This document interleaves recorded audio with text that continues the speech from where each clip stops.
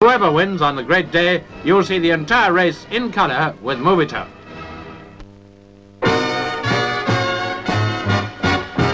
The students of Glasgow hold a carnival as part of their Charities Day. The aim, to collect money. The target this time being 25,000 snackers. The Lord Provost, Dame Jean Roberts, took the salute with Deirdre Maxwell, the Charities Queen. The students took the mickey out of everything in sight. It's the brass they were after.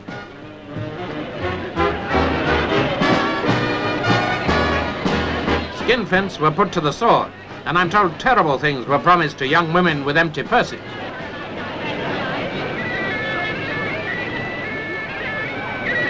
You weren't even safe in the driving seat. No excuse that you've enough trouble keeping up with the payments.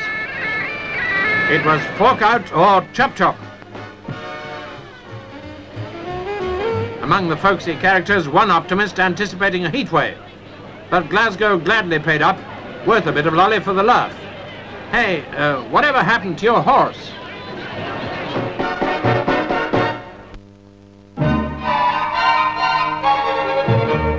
We took